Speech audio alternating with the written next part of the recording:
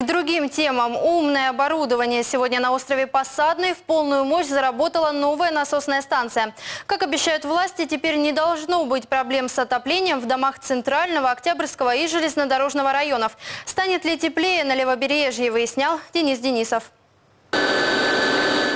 Внутри зала из людей только проверяющие чиновники и журналисты. Все процессы полностью автоматизированы. Давление и мощность сами регулируются в зависимости от времени суток и от того, сколько человек сейчас пользуется сантехникой. Такая вот умная подкачивающая насосная станция обошлась городу почти в 250 миллионов рублей. Применено более современное оборудование. И, как я уже сказал, здесь э, э, внедрена автоматическая система управления.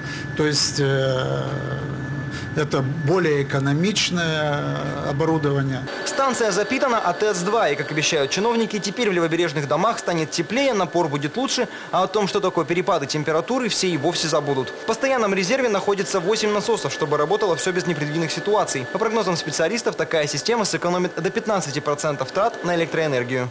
Вот по э, аналитике той, которой мы получим улучшение где-то э, в 125 зданиях жилых, 14 школ, несколько детских садов и ряд других объектов социально-культурного назначения. Насколько оправданы такие затраты, покажет текущий отопительный сезон. Как обещают чиновники, жалоб на остывшие батареи и чуть теплую воду вместо горячей уже этой зимой станет меньше.